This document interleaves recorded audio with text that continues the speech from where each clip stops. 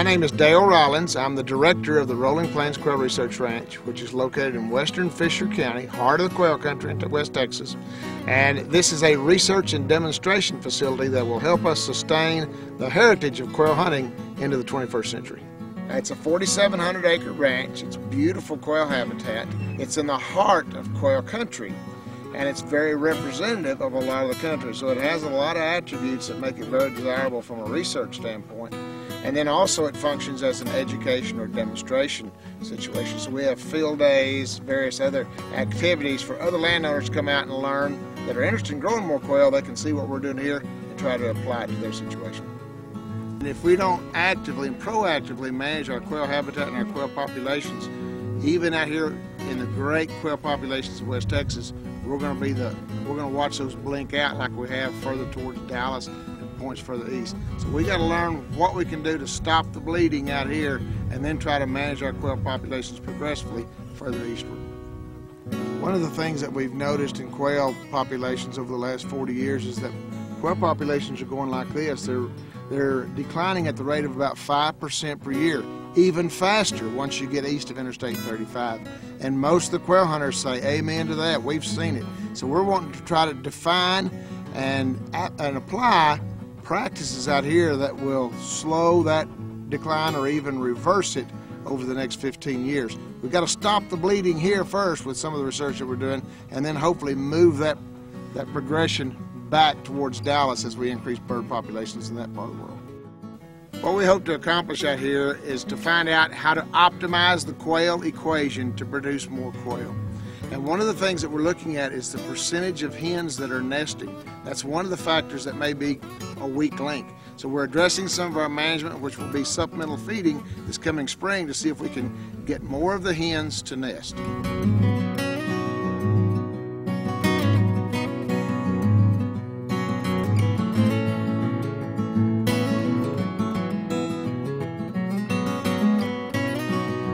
One of the biggest tools or technologies that we use in our research here is radio telemetry.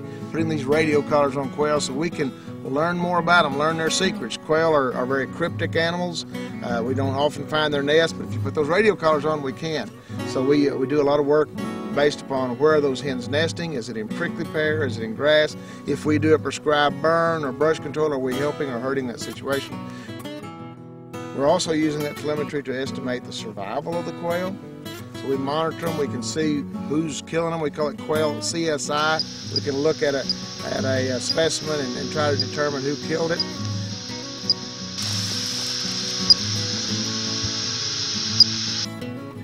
A quail has many enemies. Uh, they have enemies at all stages of their life cycle. Critters that get into the nest, wild hogs. We have wild hogs out here. We have skunks. We have coyotes. We have a lot of those mammalian predators. A quail's worst natural enemy is a hawk, and specifically one called a Cooper's hawk. So we're monitoring how many hawks we see in different times of year, be able to relate that back to the kind of mortalities we're seeing. So again, trying to understand this quail equation. Habitat plus quail plus weather plus predators and, and what, which of those variables can be manipulated and which cannot. In my opinion, coyotes are not the worst enemy that a quail has.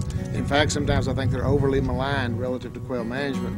But we'll be studying the diets of coyotes by collecting the scats, the droppings, on a monthly basis. And over a three-year period, we'll analyze those and what percentage of the diet is made up of quail. So again, trying to find scientific information that either supports or refutes some of these old wives' tales about quail management. One of the things that we have to be able to develop is a way to measure population responses in quail. In other words, we got to know if the quail population is at this level or this level.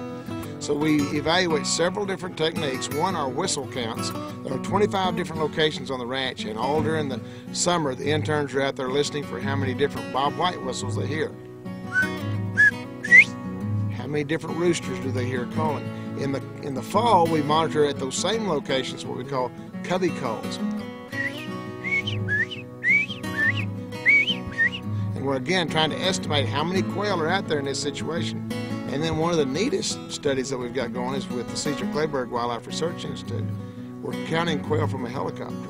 And it's a high-tech situation. It's a four-seater helicopter.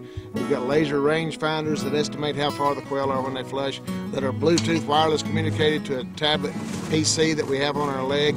It's neat technology, and it's something that I think uh, as we develop that type of technology, other landowners will be able to use it to monitor their quail populations.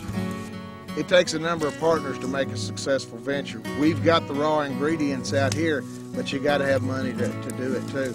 And the Quail Unlimited, especially the Park Cities Quail Unlimited chapter there in Dallas, has been a tremendous friend of the Rolling Plains Quail Research Ranch up to this point.